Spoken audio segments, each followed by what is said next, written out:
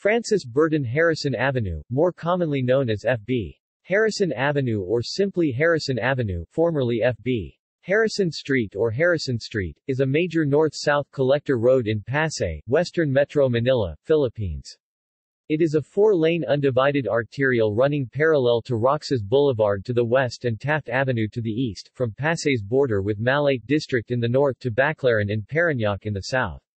The avenue is named for U.S. Governor-General of the Philippines, Francis Burton Harrison. Street description Harrison Avenue has a right-of-way width of approximately 25 meters. It is a public transportation or medium-occupancy vehicle corridor which is frequented by intrametropolitan jeepneys and mega-taxis.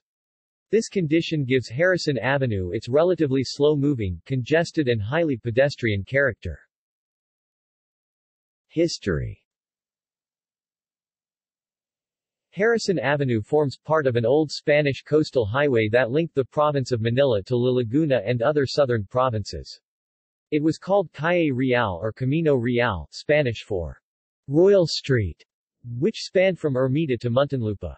At present, only the Las Piñas and Muntinlupa section is called Calle Real or Real Street as an alternative name for the road.